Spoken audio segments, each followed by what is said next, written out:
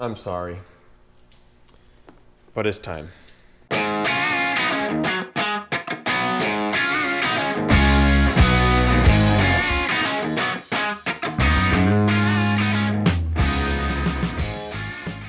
Okay, so I actually am going to Dremel off part of this tractor, but let me show you why. So I utilize John Deere Operations Center to keep track of all my farm data, uh, tractor location, GPS location at all times, and also tractor analytics.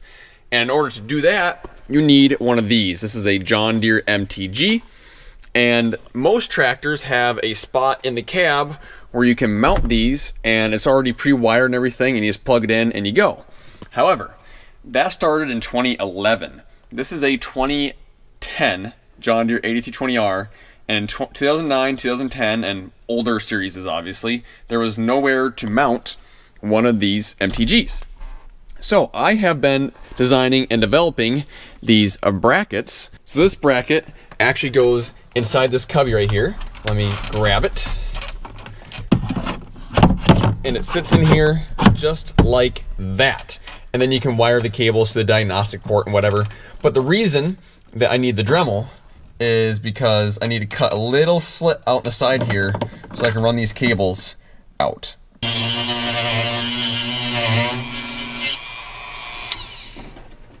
See, that doesn't look that bad at all. Maybe could make it a little bit bigger, but like, still closes all the way. All right, finished it. So, Here's the MTG in here. There's still plenty of room to throw some papers or gloves or parts or whatever in there. And then I have the cables neatly tucked underneath this floor mat in the back. And then I have the diagnostic port plugged in right there. And then the cable that goes to the monitor is just hanging from the bracket because I don't have a monitor in here yet. And then the antenna bracket or antenna harness is coming from underneath that mat out the back window. And then if I go up the side of the tractor here, here's the antenna cable. And then we also have our rate control or our velocity sensor for our rate controller coming up. Comes up the side of the corner post. I have a P-clamp right there. It goes up on top of the roof. Another P-clamp. And then I put it underneath that bracket on the roof. There's a velocity sensor and there's the antenna for the MTG. The reason I put this one on the roof, in the past I've never put them on the roof, but this next year we want to use machine sync with the grain cart, and this will be our grain cart tractor. So that way the combine and the tractor, grain cart tractor talk to each other, and the combine operator can actually control the speed of the grain cart. I'm also bringing back merch. So this is some of my new merch right here. This is the American Flag Farmer hoodie. I have this in a lot of different colors. I have a couple other designs, both hoodies and t-shirts, lots of colors, adult and youth sizes. Uh, just to let you know, the adult hoodies do run about a size small. I, I'm a medium, and this is a medium right here, but it's very tight on me. And uh, I ordered one for my dad as well, and he said it was very tight on him as well. So probably order a size up if you're buying an adult hoodie. So I'll leave a link for all that in the description. I, got rid of all my logo stuff, so like I don't think any, maybe one of the youth things does, but none of the adult stuff contains any Sixth Gen Farmer logos because I want it to be like a sweatshirt or a shirt that you can wear anywhere and people understand. So, like this, this is one of my favorite designs ever. Like I will probably wear this everywhere. So if you're looking for a way to support the channel, buying a sweatshirt or a t-shirt or a hat or something is the best way to do it. Or if you're in need of an MTG mount. This is the corner post mount that I have here in an 8410T. Um, I also have some monitor or some wire cable brackets like this one right here. Uh, that's all available at my store. Like I said, I'll leave link down in the description. Uh, I'm planning on here in the future making it less like merch stuff and more tractor accessories, and not only for John Deere stuff. I want to make like colorblind, uh, tractor or farming accessories. So uh, there, when you check out on my store, there's a way to enter an emailing list. If you guys want to sign up for that, it'd be like one or two or three emails a year. Just be like, hey, here's some new things that came out. And uh, yeah, so stay tuned for some stuff that I have planned for the future. Now here's something a bit different. Well, how many of these you get? 84? 84. 80. So these are like mini collapsible storage containers. Yeah.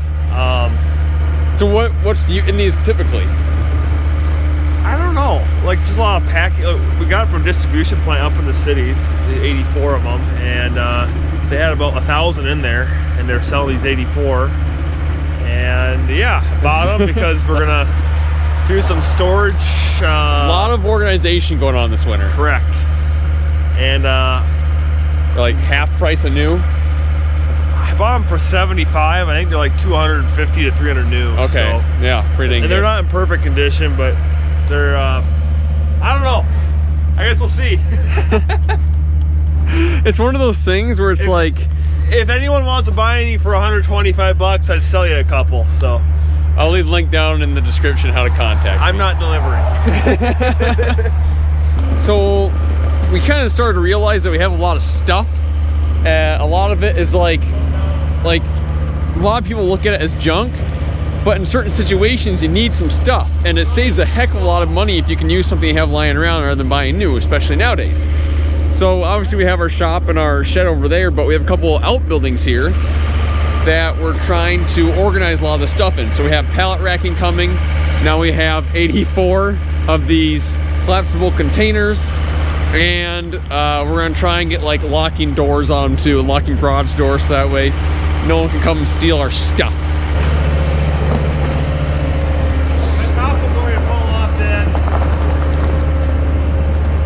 Uh, it'll be fine.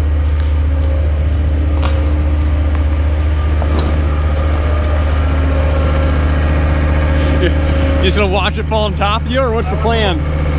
I, I think it's fine. Just be be gentle. So here's one unclapsed. Just small, nice little storage containers. If I step inside this one, oh, see they just collapse down, go back up, put stuff in them, store it, stack them on pallet racking, whatever. Works pretty nice. I'm pretty sure they're stackable when they are unfolded too, I think. I'm not 100% sure about that. But I'm six foot tall and it's, I'm probably two and a half foot from the bottom to the top of the sidewalls here. Pretty handy little things. We gotta stop going on Facebook Marketplace.